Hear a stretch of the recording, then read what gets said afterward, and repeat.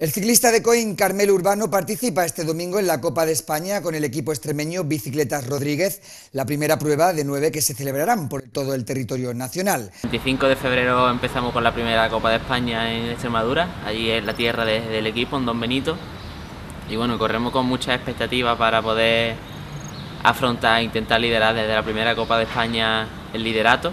Carmelo Urbano es campeón de Andalucía sub-23 de bicicletas de montaña y campeón de España y de Europa sub-23 de dualón cross. En una Copa de España que el calendario semiprofesional empieza en febrero y termina en septiembre, pero bueno, los dos o tres primeros meses se suelen dedicar a carreras de un día, de unos 150-180 kilómetros, y bueno, son Copas de España, que hay 8 o 9 Copas de España por todo el territorio nacional que bueno, es como un mini campeonato antes de empezar las vueltas por etapas.